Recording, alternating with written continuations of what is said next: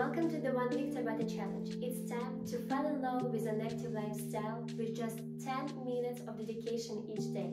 This challenge will boost your endurance, calm your body, increase your energy, and improve your mental health. Remember, every step, no matter how small, brings you closer to your goal.